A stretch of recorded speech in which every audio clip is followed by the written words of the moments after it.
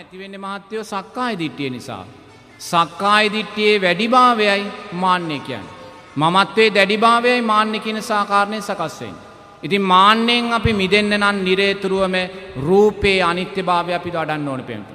එහෙම නැත්තම් පටිච්ච සෞපන්නෝ අපි මේ ජීවිතය දකින්න ඕන. පටිච්ච සෞපන්නව ජීවිතයේ දකින කෙනා මෙතන මමය කියල සංඥාවක් එයා ජීවිතය තුළින් ගන්නේ නෑ. මාන්‍ය ඇතිකරගන්න කුමක් නිසාද රූපය කෙරේ ඇතිකරගන්නා වූ මමත්වේ දැඩිභාවය නිසා. වේදනාව කරේ ඇතිකරගන්නා වූ මමත්වේ දැඩිභාවය නිසා. සංඥාව චේතනාව විඤ්ඥානය කරේ ඇතිකරගන්නා වූ මමත්වය දැඩිභාවය නිසා. එනිසා මමත්වේ මාන්‍යය කියන කාරණය බැහැර කරන්න නං අනිවාර්යෙන්ම පිංහතුනේ තමන් රූපේ අනිත්‍යභාවය විදර්ශනාවට ලක් කරන්න ඕන. පංචුපාදානස්කන්දේ අනිත්‍යභාවය තුළ ජීවත්වයෙන් ඕන. ඒ වගේම පටිච්ච සමුපන්නව හේතුඵල ධර්මයන් මත ජීවිතය දකින්න ඕන. අවිද්‍යාපච්චයා සංකාරා. අවිද්‍යාව නිසා සකස් වනා වූ සංස්කාරය. මොකද මේ මෙතන මමය මගේ කියන සත්වයෙක් පුද්ගලයෙක් කියන සංඥාව තුළයි අපි මාන්‍යය සකස් කරගන්න පිංහතුන්. එතකොට පටිච්ච සමුපන්නවයා ජීවිතය දකිනවනම්. ඒ පටිච්ච සෞපන්න ක්‍රියාවලිය තුළයා දකිනවා මෙතන මමය කියලා සත්වයෙක් පුද්ගලයෙක් නෑ හේතුවන් නිසා සකස් වනා වූ දෙයක් මෙතන තියන්න කියලා. අවිද්‍යාපච්චයා සංකාරා. අවිද්‍යාව නිසා සකස් වනා වූ සංස්කාර. සංකාරපච්චයා විඤ්ඥානම්. සංස්කාරය නිසා සකස් වනා වූ විඤ්ඥානයක් මෙතන තියෙනවා. මේ අවිද්‍යාවත් සංස්කාරයත් අතර සත්වයෙක් පුද්ගලය අපි දකින්නේ නෑ හේතු පලධර්මයක්. සංස්කාරපච්චයා විඤ්ඥානං සංස්කාර නිරෝධා විඤ්ඥාන නිරෝධෝ. සංස්කාරයත් විඤ්ඥානයක් අතර අපි සත්වයෙක් පුද්ගලයෙක් දකින්නේ නෑ. එතොට සංකාරපච්චයා විඤ්ඥානං කියන මොකක්ද දැන් අපි හිතමු මේ මහත්තයා මෙතන ඉන්නවා. මේ මහත්තයාට ගිය ජීවිතේ මනුස්සෙක් මේ මහත්තයා. මේ මහත්තයා ගිය ජීවිතේ අවුරුදු අනුවක් විතර ජීවත් වෙලා මේ මහත්තයා මැරෙන මොහොත එනවා. මැරෙන මොහොතෙදී අවසාන චුතිසිත සකස් වෙනවා. අවසාන චුතිසිත කියන්නේ මොකක්ද විඤ්ඥානය. විඤ්ඥානයේ අවසාන චුතිසිත සකස් වනේ කුමක් නිසාද සංස්කාර රැස් කරපු නිසයි. සංකාරපච්චයා විඤ්ඥානම්. සංස්කාර නිරෝධා විඤ්ඥාන නිරෝධෝ. සංස්කාරයත් විඤ්ඥානයත් අතර සත්වයෙක් පුද්ගලය කිටියද හේතු පලධර්මය. සංස්කාරපච්චයා විඤ්ඥානං විඤ්ඥාන පච්චයා නාමරූපන්. එතොට සංස්කාරපච්චයා විඤ්ඥානය කියන්නේ සංස්කාරයන් නිසා විඤ්ඥානය අවසාන චුතිසිත සකස් වුණා.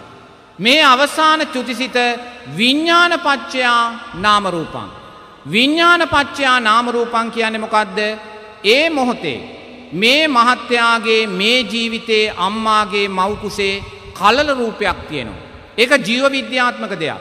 මේ අම්මාගේ මවකුසේ පැලෝපියනාලේ තියෙන කලල රූපෙට මේ විඤ්ඥානය ඇවිල්ලා බැසගන්න. විඤ්ඥානය ඇවිල්ල කලල රූපෙට බැසගත්තට පස්සේ මෙච්චර වෙලා පාවිපාවි තිබ මේ මස්කෑල්ල දැන් ගැහෙන්න පටන් ගන්න. ගැහෙනවා කියන මොකක්ද කාය සංස්කාර සකස් වෙනවා. අපේ මේ පපුුව ගැහෙනවා වගේ මේක ගැහි ගැහි දැන් තියෙන්නේ. විඤ්ඥාන පච්චයා නාමරූපන්. විඤ්ඥානය සකස් වුන නිසා නාමරූපයන් සකස් වුණා. විඤ්ඥාන නිරෝධා නාමරූප නිරෝධෝ. එනම් විඤ්ඥානය සකස් වුනා ඊට අදාළව නාමරූප සකස් වුනා. ඊළඟට බුදුරජාන් වහන්සේ කියනවා නාමරූප පච්චයා සලායතන. නාමරූප නිසා සලායතන සකස් වුණා. එතොට නාමරූප නිසා සලායතන සකස් වුනා කියන්නේ මොකක්ද දැන් අර ගැහි ගැහි තියෙන කලරූපය. සති හතක් අටක් යනකොට තම්බපු බිත්තරය අප්‍රමාණට ලොකු වෙලා. මේ ඇස කණනාසේ දිවශරීරයේ මනස සකස් වෙනවා කියලා බුදුරජාණන් වහන්සේ දේශනා කරන. එනම් බලන්න නාමරූප සකස් වුන නිසා සලායතන සකස් වුණා. නාමරූප නිරෝධා සලායතන නිරෝධෝ. නාමරූපයක් සලායතනයක් අතර සත්වයෙක් පුද්ගලය කිටියද හේතු පල ධර්මයක්. එනම් දැන් තාම අපි කොතනකවත් මෙතන සත්වයෙක් පුද්ගලයෙක් දකින්නේ නෑ. හේතු පල ධර්මයක් තමයි මෙතන දකින්න. ඊළඟට බුදුරජාණන් වහන්සේ දේශනා කරනවා සලායතන පච්චයා පස්සෝ. සලායතන පච්චයා පස්සෝ කියන්නේ මොකක්ද දැන් මේ මහත්තයා ලෝකෙට බිහි වෙනවා.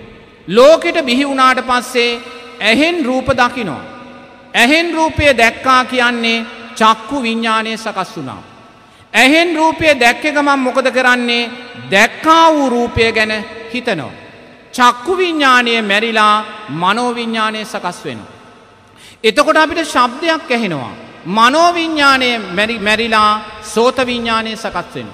සද්ධය ගැන හිතනවා. සෝත විඤ්ඥානය මැරිලා මනෝවිඤ්ඥානය සකස් වෙන. එනම් චක්කු විඤ්ඥානයමද මනෝවිඤ්ඥානය කියන්නේ නැහැ. මනෝවිඤ්ඥානයේද සෝත විඤ්ඥානය කියන්නේ නැහැ. ඇස මැරිලයි මන ඉපදෙන්නේ. මන මැරිලයි කන ඉපදෙන්නේ. කන මැරිලයි කය ඉපදෙන්නේ. බුදුරජාණන් වහන්සේ දේශනා කරනවා. මේ ලෝකයේ ඉන්න සෑම සත්වයෙක්ම සෑම මොහොතකම මැරමින් ඉපදෙනවා මැරමින් ඉපදෙනවා කිය. නමුත් අපි දන්නේ නෑ පිංහතුනි. අපි මරණය කියලා දකින්න මොකක්ද අවසානයේ වයෝවෘද්ධ වෙලා මැරෙන මරණය ගැන විතරයි. නමුත් බුදුරජාණන් වහන්සේම කියන්නේ. බුදුරජාන් වහන්සේ දේශනා කරනවා සෑම නිමේශයකදිම මැරමින් ඉපදෙනවා මැරමින් ඉපදෙනවා කියලා. මොකක්ද මේ බුදුරජාණන් වහන්සේ කියන්නේ. ඇසෙන් රූපයක් දකිද්දී ඇස ඉපදෙනවා පිංහතුනි. චක්කු විඤ්ඥානය කියන්න ඇසේ ඉපදීම. ඇස මැරිලයි මන ඉපදෙන්. ඇස ඉපදෙන වෙලාවෙ විඤ්ඥානය ඇසේ බැහැගෙන ඉන්නවා ඇස මැරිලා මන ඉපදෙද්දි විඤ්ඥානය මනසේ බැහැගෙන ඉන්නවා. මනස මැරිලා කන ඉපදෙනකොට විඤ්ඥානය කන තුළ බැහැගෙන ඉන්නවා. බුදුරජාන් වහන්සේ දේශනා කරනවා මේ ආයතන හයින් හැම වෙලාවෙම එක ආයතනයයි ඉපදිලා තියෙන්නේ කියලා. ඒ ඉපදිලා තියෙන ආයතනය තුළ විඤ්ඥානය බැසගෙන තියෙනවා.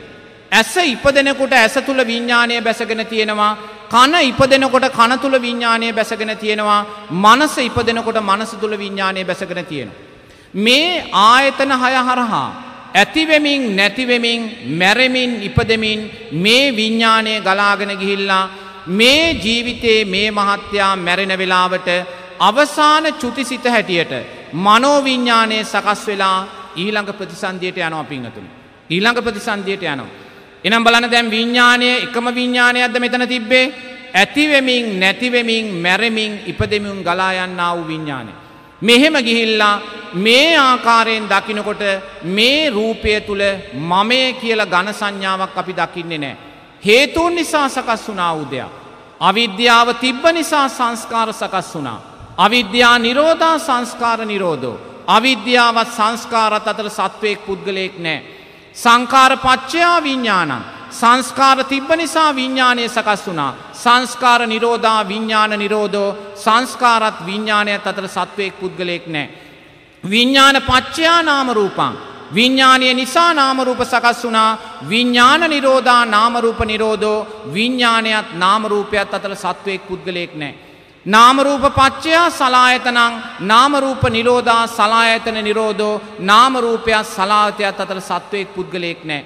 සලායතන පච්චයා පස්සෝ සලායතන නිරෝධා පස්ස නිරෝධෝ සලායතනයත් පස්සයත් අතර සත්වයෙක් පුද්ගලයෙක් නෑ.